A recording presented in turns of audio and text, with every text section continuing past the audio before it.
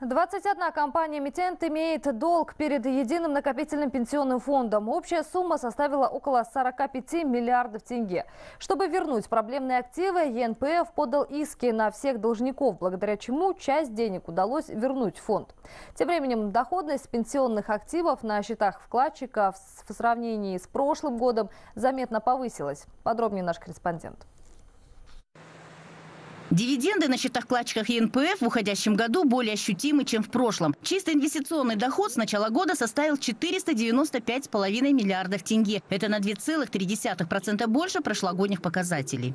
Доходность пенсионных активов э, составила на 1 декабря 2017 года 7,15%.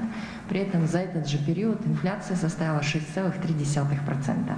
При этом основная часть дохода была получена от вознаграждения по ценным бумагам, но доход мог быть и больше. Сразу 21 компания задолжала фонду около 45 миллиардов тенге. На всех должников ЕНПФ подал суд и выиграл. Но пока фонд вернулась лишь 15 часть долга. Самая большая задолженность у акционерного общества «Казахстан Хагазы» – 12,5 миллиардов тенге. Вернуть деньги в ЕНПФ намерены после судебного процесса в Лондоне. Там сейчас находится один из ответчиков по иску фонда. 22 декабря 2017 года Высокий суд Лондона принял положительное решение по судебному иску. Точная сумма иска будет определена по английскому праву в результате так называемых косвенных слушаний, э, которые должны состояться уже в 2018 году.